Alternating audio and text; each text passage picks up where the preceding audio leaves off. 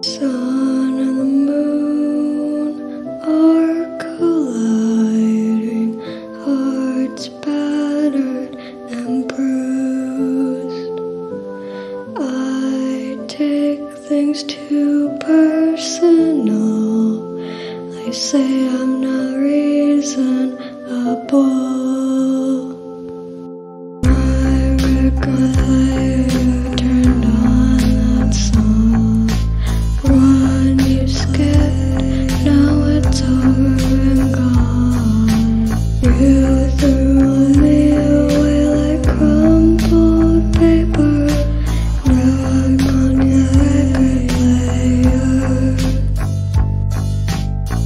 If I'm dead to you, then why'd you call? Why'd you Left call? a voicemail apologizing for it all.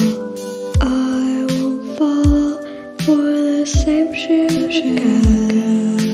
Sorry, but this is your end.